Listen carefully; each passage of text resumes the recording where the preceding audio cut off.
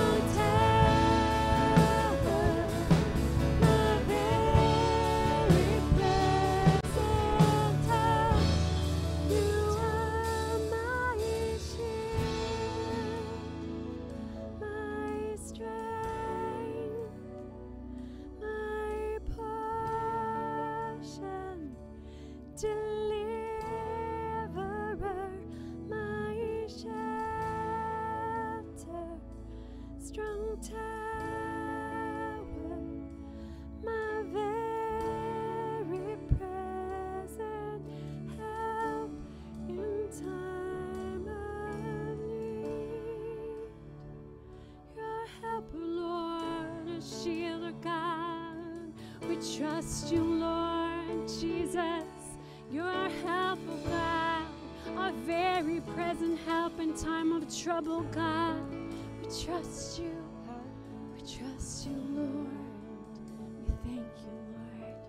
We thank you, Lord, for your goodness. We put our faith in you, Lord Jesus. Thank you, Lord God. We thank you, Lord. Thank you, Jesus.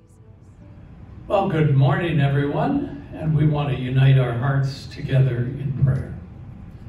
Father, we thank you so much for your loving kindness to us, for the way that you help us day by day. In these days that are so difficult for so many people, we pray that your hand of direction and your peace will fill our hearts. We think of churches all over who are going through challenges. We pray that you will guide them and direct them, and out of this bring to their hearts direction that will show them just what they're to do and how they're to do it. We pray for the many churches that are without pastors now. Send leaders in, pastors in, to guide them in the path that the Lord has for them.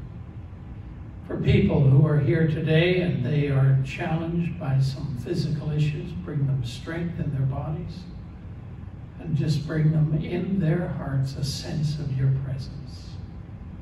So be with us this day in the name of Christ we pray. Amen. Amen. Bless you. Good morning, LGT family and friends. Today's reading comes to us from Ephesians 4, verses 29 to 32. Do not let any unwholesome talk come out of your mouths, but only what is helpful for building others up according to their needs, that it may benefit those who listen. And do not grieve the Holy Spirit of God, with whom we were sealed for the day of redemption. Get rid of all bitterness, rage and anger, brawling and slander, along with every form of malice. Be kind and compassionate to one another, forgiving each other, just as in Christ God forgave you. Good morning, church. We're so glad that you're watching with us today. And just as we head into fall 2020 and this back to school season, whatever it looks like for you, whether you're a student or a teacher, an educator, a bus driver, whoever you are, maybe you're homeschooling for the first time, we're with you. We're for you. God is with you. We're praying his blessing on you and your family this fall 2020. We want to encourage you at this time as well that we have a new way to give online. So as you continue in your faithfulness to give to the Lord and your tithes and your offerings and gifts, you can do that now through your online banking, through Interac eTransfer, and the email address that you would use is give at lgt.org. So you can include in the comments a little message. If it's your first time giving, please include your address. But we thought that would be a, a nice, convenient way um, for you to be able to give. So we hope that that's helpful for you during this season. I also want to let you know, all the guys out there, all the men, that there's going to be another men's gathering with Pastor Paul and Guess I Am on Thursday, September the 24th at 7 p.m. just outside the church. Bring a lawn chair. If you're one of the guys, you want to be a part of that. Again, it's Thursday, September 24th at 7 p.m. God bless you and enjoy the rest of the service. Hi everyone. Sitting here in the sanctuary, there's work going on in here, but I'm so glad to bring you a message of hope today. I've got some notes that I'm going to be referring to. And, you know, we're seeing this season of life and the transition and the world in which we live. This fall, we're going back to school and that, but COVID's still kind of uh, bringing a very strong, uh, difficult situation to the forefront. Many of our activities and actions that we're trying to figure out how do I act in this time and what's the way, uh, what are the possibilities that God has for me. Last week, we looked at some scriptures and I preached the same sermon in the parking lot last week as I did online. And I'm going to give you a few scriptures today. We talked about four people in the Bible Moses, David, Joseph, and Abraham, and how God in their life waiting was part of their life. If you looked at the time frames, Moses waited 40 years, and the, the process of waiting perfected what God was wanting to do in their life. Why did Moses have to wait 40 years? Why not 39? Because God couldn't do in that process of time, the time it took for God to do whatever he wanted to do, uh, took 40 years for Moses. David, he took 15 uh, years from when he was anointed king over Israel to when he became king. And he ran, it's like the opposite direction of what you would think would happen when God made him the promise happened. He, he had to run for his life. It says he was like a dead dog or a, or a, a partridge, which is a bird, uh, living out in the desert. Joseph, the time in which God spoke to him, that you're going to rule over your brothers, your family, I'm going to raise you up. And the second that thing happened, that word promise came, if you looked at his life, his entire life went the other direction. And then God, though, then fulfilled what he promised in time. Abraham was another one. Abraham was promised a son, but the point is, it wasn't just that God said, Abraham, you're going to have a son.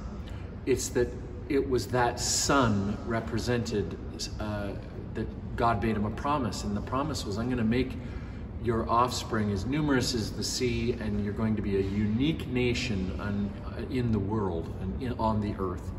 There was a redemptive uh, promise in these promises beyond just having a kid. God had something to work in, not just in his life, but in the world. It was an amazing promise. God is an amazing promise. Each one of these men in the Bible, they had amazing promises but then they had to wait for the promise to become active or real.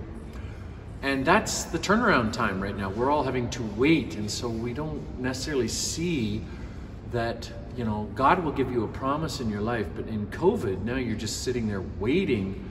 You don't want to give up. There's no, and I pointed this out last week, there's nowhere in the Bible, there's no reference point where giving up is part of God's uh, what God wants you to do. There's there's literally no precedent in the Bible of anyone giving up and God working what He wants to do. If you give up, God's not going. to You don't have a precedence in the Bible. The Word of God doesn't contain a precedence for giving up. It's nowhere in the Bible. So we're going to look at this topic, and uh, part of uh, waiting is endurance. So Scripture says you cannot bypass uh, endurance and enter into the promises of God. To enter into the promises of God, and these four men, their lives and what God worked in them, that's a good example. You can come so far. Hear me on this. So, when it comes to God giving promises, you can come so far in your walk towards the promises, but the completeness of God's promises only comes through endurance. Now, this is building what I'm saying on last week's message. If you haven't seen it, you may want to watch uh, and when you're through this and watch last week as well. So, just when it seems impossible to hold out, that's when you have to hold out.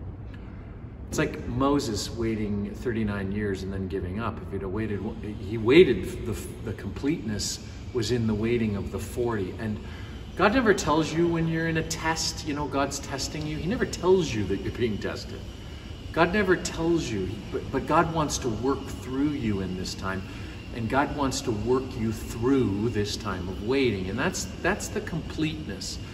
When you're in a test, you never God never tells you you're in a test, and God never tells you how long the test is going to last. But what I can tell you is God wants to work through you in the test. Please hear me on that. God wants to work with all of us together. He wants to work with us and through us in the test so we can be brought to the point where the promise is the completeness. What, what action God wants to take on our behalf is He wants to work in us, not just to make the meaning clear of what's going on now, but work in us to do what He wants, which part of it is we just have to endure. Just when it seems impossible to hold out, that's when you have to hold out. And the, the promise, the, the promises, the fulfillment, what God's wanting to do, it comes through endurance. That's what the Bible tells us.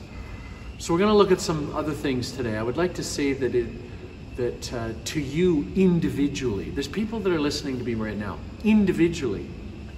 What I want to say is don't give in. Don't back out now. God is faithful of the promises that you have. You want to finish the course. God didn't promise you something and then back out of his promise. The only one who will back out is you. So God is faithful to his promises. He was faithful to Moses. He, Joseph, for instance.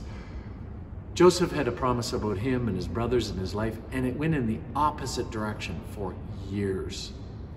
But God still made the promise, and then it came to pass that it did occur. So, waiting. I want to just share with you a couple of thoughts out of the Bible. It is what is what is this thing that then we're waiting? You know, we're in COVID and it's like we're in this season and we're just waiting. Know, some people are trying to pick up and move on. We got school, but there's still this in, immense waiting. That it's a field, a field. We're kind of waiting through this season. Scripturally, waiting causes us to realize more and more our dependence on God. I, it's like the statement, I can't do anything. I can't make this happen. The pro, that's like Moses. At the beginning, Moses knew that God kind of wanted to use him to set his people free, but in arrogance, he went and killed an Egyptian.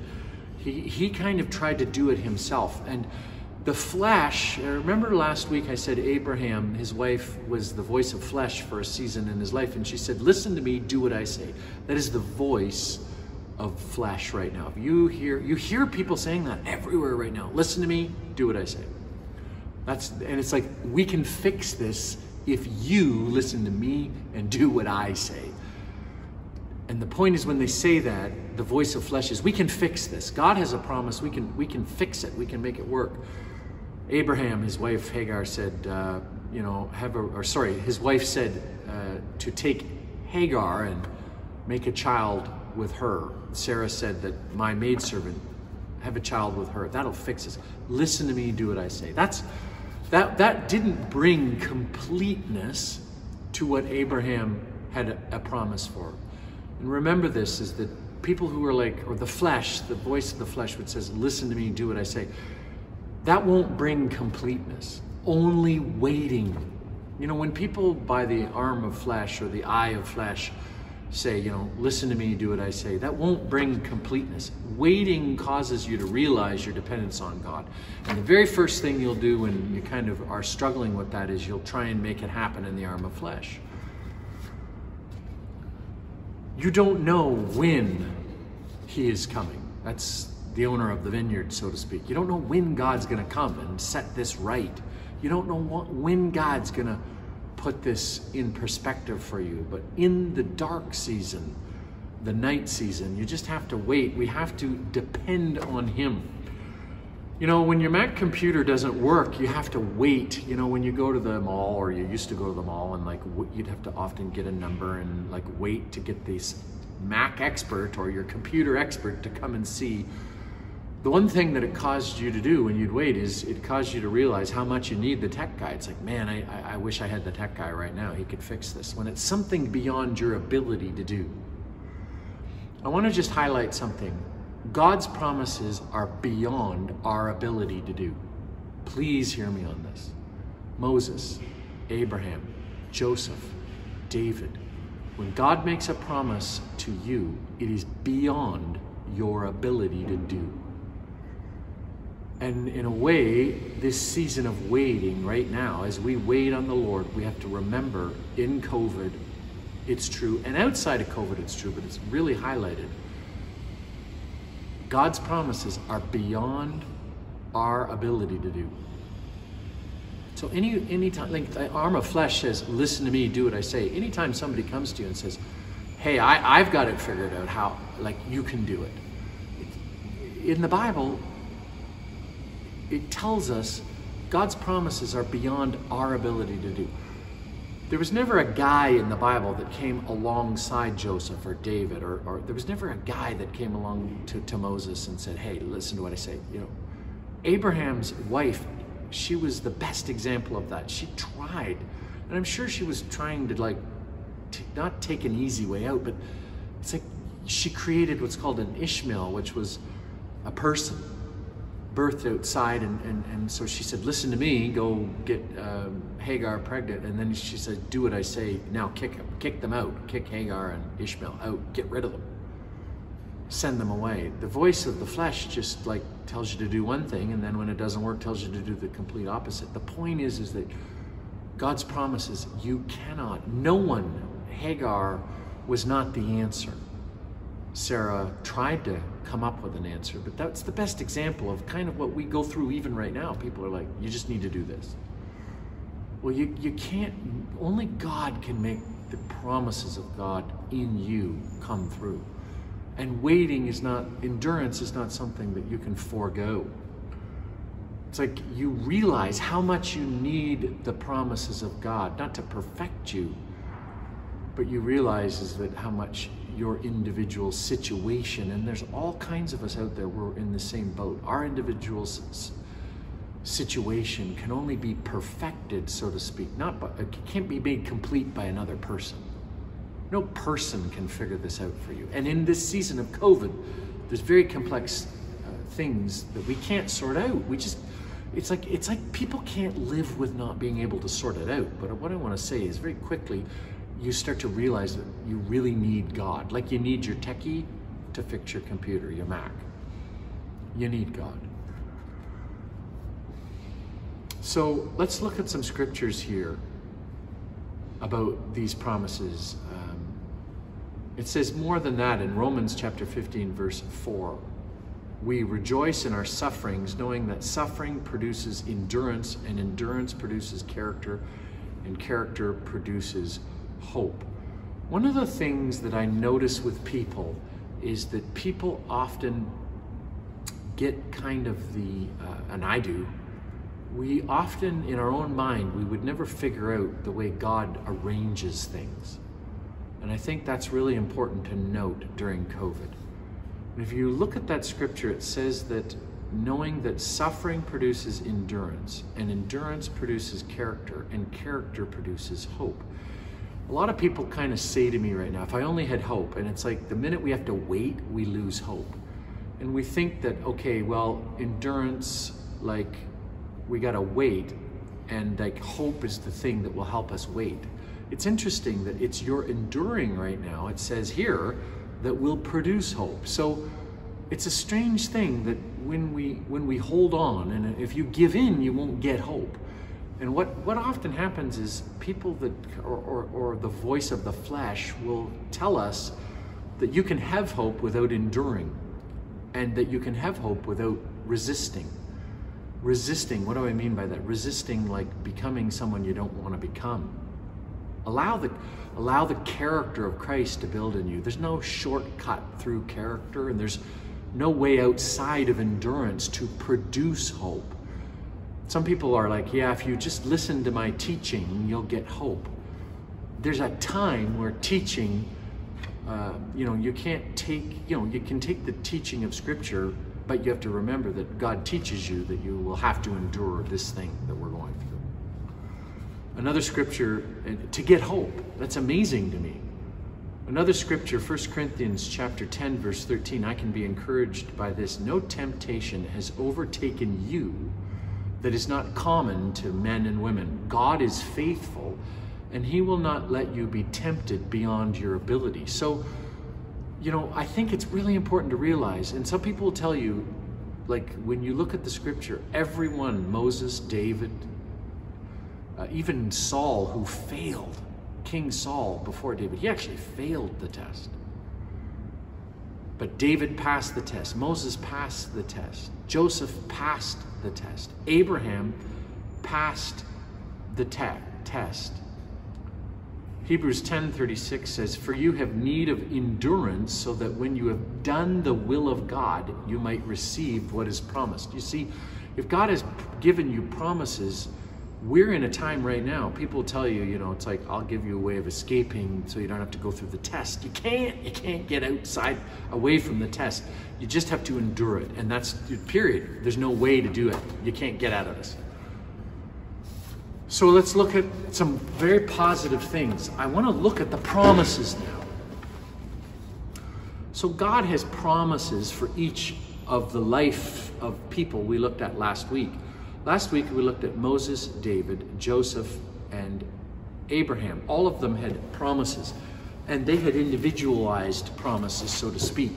And each one of you listening will have a, a, a promise, which is pretty amazing. So let's look at the promises that are put before us. But to look at the promises put before us, we'll look at those in a second. Let's look at the promises that were put before these four men. Now, the promises were so vast put before Moses, David, Joseph, and Abraham. Let's look at one of them. Let's look at Abraham.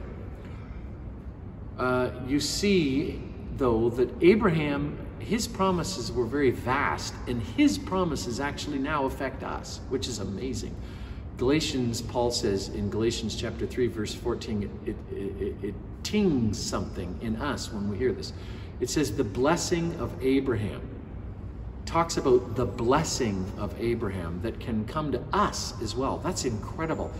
So the blessing of Abraham, the, the promise that Abraham got, that we're talking about, that he waited for, it impacts us today. And it links it, this blessing of Abraham, with the supreme purpose of God in choosing Abraham for himself. That supreme purpose impacts us today.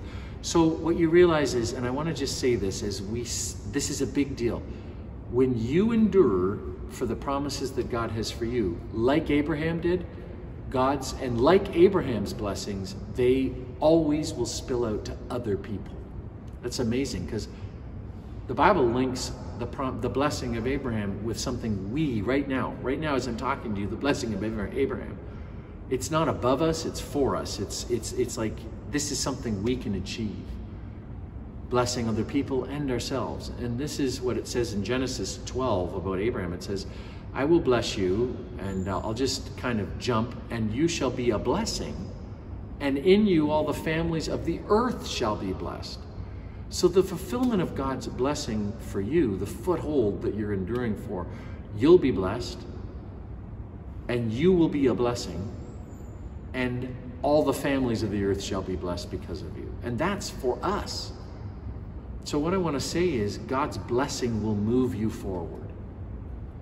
And you'll have to you'll have to come to the place where you wait.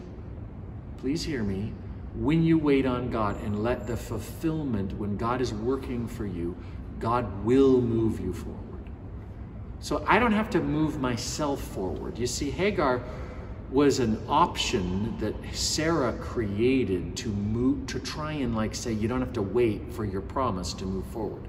God will always fulfill his promise, and in fulfilling his promise, he'll move, he will move you forward. Sarah tried to move Hagar forward to create a promise. But that's the flesh. God will move you forward. So Abraham's blessings, Abraham had seven things that God promised him in his promise or promises. He said, I will make you a great nation. This is what God said to him. I will bless you. I will make your name great. You will be a blessing. I will bless those who bless you. I will curse those who curse you. Now that's called anti-Semitism. Do you know that if you say that the people of Israel are not blessed, you will be cursed? And that still is active today. Because God says he will curse those who curse you. In you, all the families of the earth shall be blessed. So that was the blessing that God fixed on Abraham. Now, I want to just say this God's blessing is fixed. When you endure and the possibilities of what God has promised to you, you hold on. When you endure, then those things become fixed. Uh, but for this all to happen, all of it, for Abraham, for Moses, for David, for Joseph, and for you, for your blessings to come upon us as God wants us, uh, to to endure just you know abraham he just it's it's so interesting. Abraham only had to do one thing which is hard to believe. There's only one thing abraham had to do. He had to wait he just had to wait so abraham it's like you know it's not like he had to do a bunch of stuff he, he literally, and I want to say this Abraham only had to do one thing for all of that to happen. God gave him the promise, and then he just had to do literally one thing. He had to wait. That's it. He didn't do anything wrong. He was walking in faith. He was listening to God. Somebody tried to, by the arm of flesh, his wife, make something happen. Abraham had to wait, and he waited 25 years. We are sick of COVID after waiting six months. Abraham waited 50 times longer than we are waiting during COVID. 50. So if you think the last six months has been a pain, Abraham waited, Father Abraham, literally a real guy, waited 20, not 25 times longer. He waited 25 years, which is 50 times longer than we've been waiting in COVID. So from the reception of the promise to when the promise was fulfilled, Abraham waited 50 times longer than we're waiting. We've waited about half a year and still this stupid thing's not over. And I'm I'm sick of this. Who's sick of this? I'm sick of it. I know most of us are saying, get me out of here. I'm sure Moses was getting pretty tired in the 40 years in the in the desert. I'm sure that David was like getting tired after 15 years of waiting. Imagine that 15 years from when God spoke. See, what's interesting is these words that God spoke, they were real. And it was 15 years from when God had spoken to David, uh, that Samuel uh, anointed him king to when he became king. And imagine all the, like, people want to come to you right now and say, that's not, your promise isn't going to happen. The things that God has promised, they're not going to stand. They don't stand still like this. Imagine what people probably would have said to these four people. God's, God's promises don't stand still like this. You don't really have to wait like this. You don't wait, David, 15 years. It's obviously not active.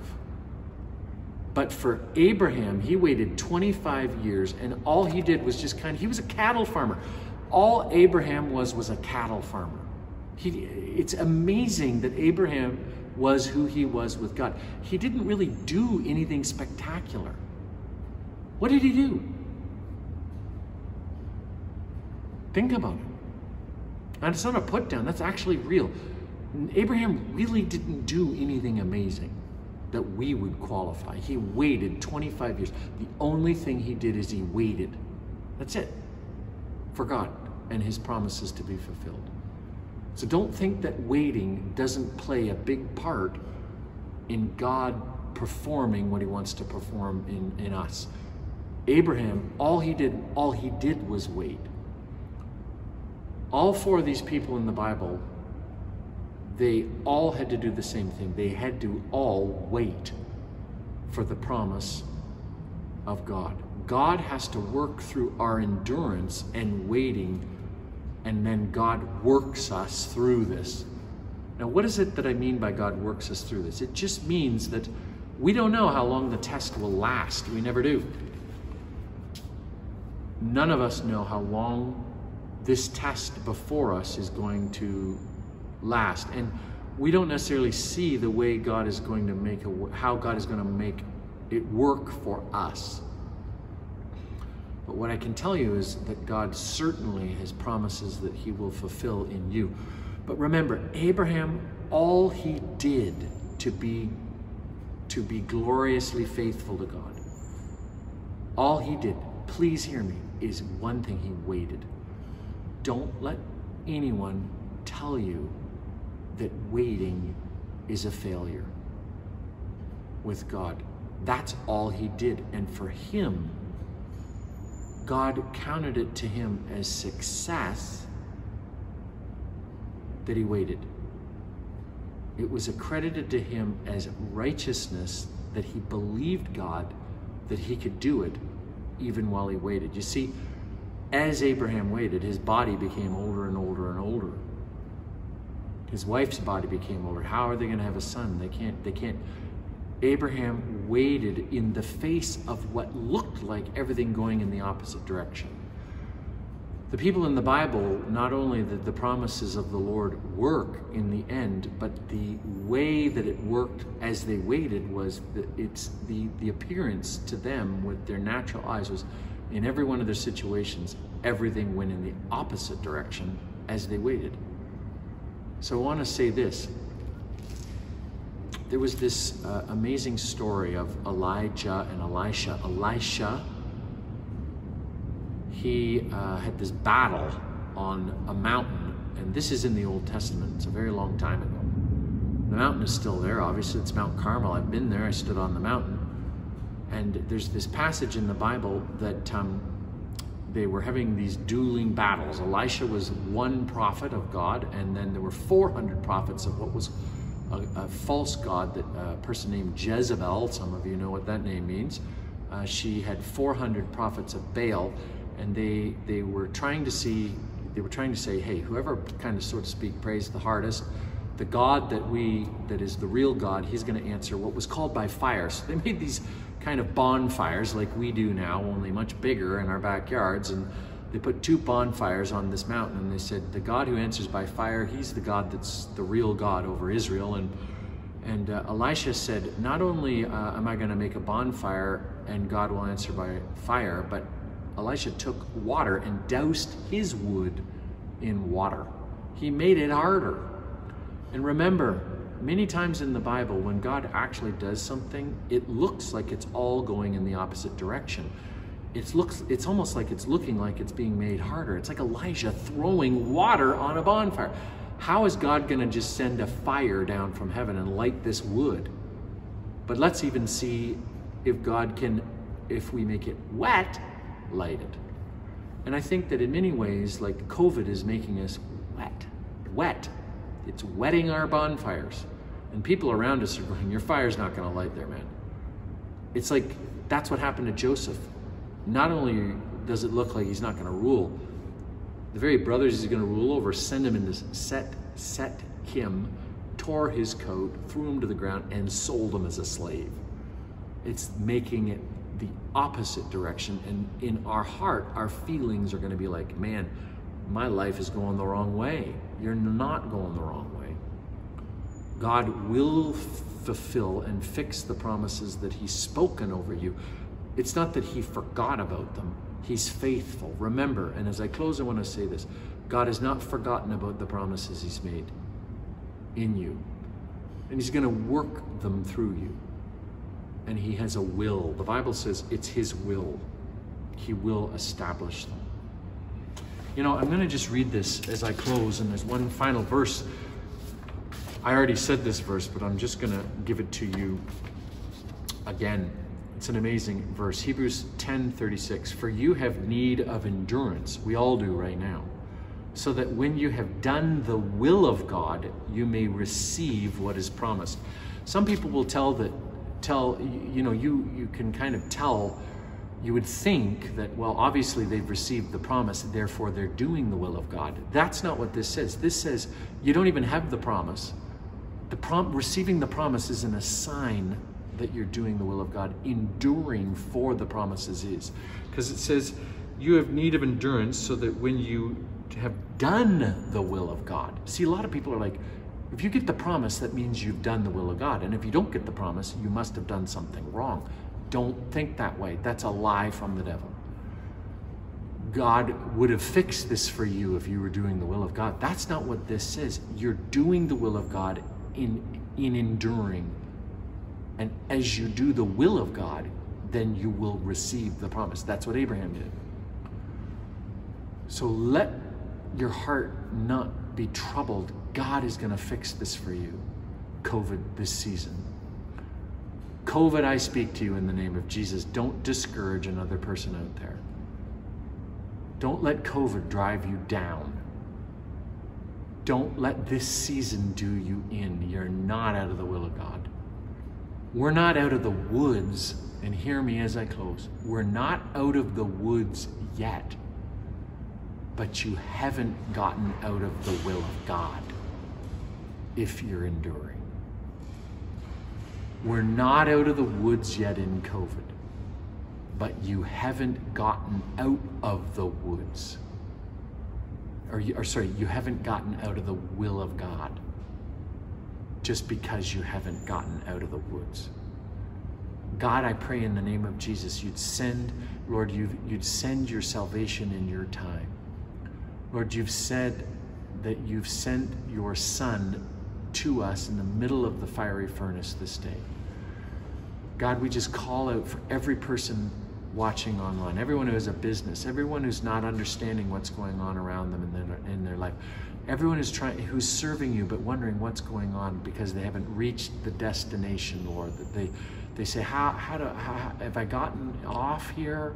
Am I doing something wrong? God, I pray that you would fill their hearts with good things. I pray you'd whisper by your Holy Spirit alongside your word. This is the word of God. This isn't, I didn't make any of this up. God, you were you, you you let us see Abraham, let us see Moses, let us see King David, let us see Joseph. Let us not swerve and listen to any voices around us. God, we just, in, the name of Jesus, we ignite in our heart a faith that will be faithful to serve you. God, there's no precedence for giving up in the Bible. And may we not swerve right now. Lord, may you make a way in this season for our heart to endure and rest in you in a time where it's, we would see that there might not be an easy way to rest, but may we search the scriptures to know Lord, may we test every word that comes to us to see if it lines up with what the Word of God says. There's promises for our church and the lives of people in our church. And may we see our, our not our word stand, but your word stand, Lord Jesus. May over our church, our lives, our homes, our families, may we serve you and may your word stand in Jesus' name over every individual, over every life, every promise. May it not be broken. May we not give in. In Jesus' name, amen.